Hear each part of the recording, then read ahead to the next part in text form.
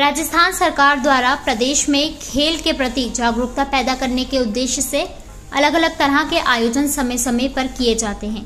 एक बार फिर खेल प्रतिभा की खोज और खेल भावना और सौहार्द विकसित करने के उद्देश्य से राजीव गांधी ग्रामीण ओलंपिक खेलों का आगाज़ किया गया है। ब्लॉक स्तर पर होने वाली ओलंपिक की प्रतियोगिताएँ 17 अगस्त से प्रारंभ हो गई हैं और इसमें भाग लेने वाले प्रत्येक टीम पंचायत स्तर से चयनित की जाएगी।